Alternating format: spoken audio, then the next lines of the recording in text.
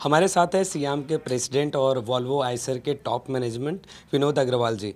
Vinod Agarwal ji Zee business में आपका स्वागत है। और जो मेरा पहला सवाल है वो यही है कि अ, इस समय जो एक सीरियस डिस्कशन चल रहा है जहाँ पे ओ ये बोल रहे हैं कि उनकी जो इन्वेंट्री है तीस से पैंतीस दिन के बीच में है। एंड सेम जो ऑटो डीलर की तरफ़ से जो शिकायतें आ रही हैं वो यही है कि उनके ऊपर इन्वेंट्री थोपा जा रहा है स्टॉक उनके ऊपर अधिक आ रहे हैं।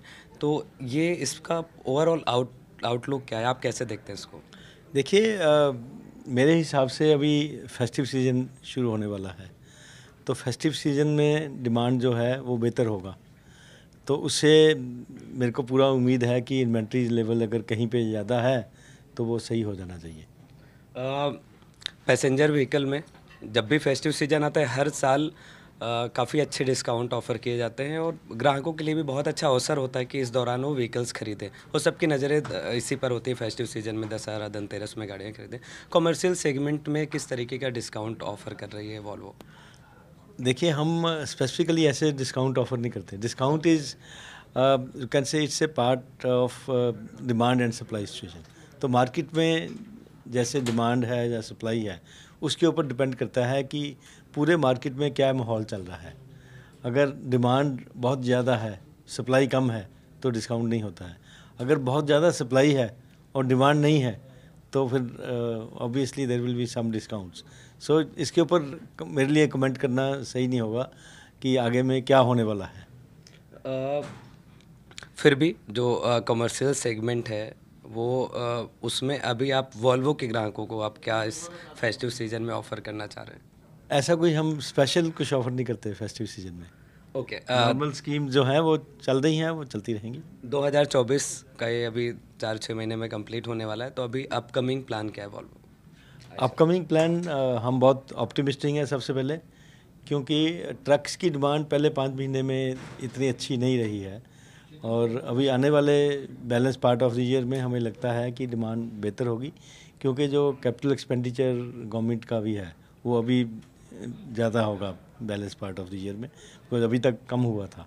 तो एक तो वो अच्छा होने वाला है, दूसरा फेस्टिव सीज़न के कारण डिमांड होगा, तीसरा जो है रूरल इकॉनमी भी बेटर हो रही है, और हमारी इकॉनमी ओवरऑल भी अच्छी चल रही है। तो इसलिए फंडामेंटली जो है, सारे फैक्टर्स जो हैं वो अच्छी डिमांड के फेवर में ही है। सो देर हमें पूरी उम्मीद है कि balance part of the year में डिमांड अच्छा होने वाला है। अ, मेरा आखिरी सवाल है आपसे कि जिस तरीके से इलेक्ट्रिक व्हीकल सेगमेंट है भारत में आई अभी इस समय पे जो सेल्स हैं वो थोड़ा डाउन चल रहा है। अब इससे हट के क्योंकि कमर्शियल व्हीकल का जो ट्रक एरिया है तो ट्रक में क्या आने वाले टाइम ऐसा है कि वो इलेक्ट्रिक पे चलेगी या फिर ऐसा कुछ उतना भार या फिर उतना पावर संभाल पाएगी? इस पर क्या ऑलरेडी बिगनिंग तो हो गया है। हम ऑलरेडी साढ़े पाँच टन का ट्रक बेच रहे हैं और पचपन टन के ट्रक भी मार्केट में हैं ऑलरेडी और आगे से आगे आपको और नज़र आएँगे ट्रक्स तो इलेक्ट्रिक ट्रक्स तो पूरे मार्केट में आने शुरू हो गए हैं और आगे और आएँगे। और ये ग्राहक जो भी इलेक्ट्रिक ट्रक लेने वाले जो ग्राहक है कैसी कैसी क्वेरी आ रही क्योंकि बहुत ही नया सेगमेंट है और ट्रक वैसे ही काफ़ी भारी भरकम होता है, उसमें सामान लाद के एक जगह से दूसरी जगह ले जाया जाता है तो बहुत ढेर सारे ग्राहकों के सवाल होते हैं। तो कैसे कैसे क्वेश्चन आ रहे हैं? एंड सेकेंड कि क्या इसका भविष्य है? नहीं बेसिकली इसमें जो कस्टमर्स का सबसे बड़ा जो अनसर्टेनिटी यही है कि हम चार्जिंग कैसे कर पाएँगे?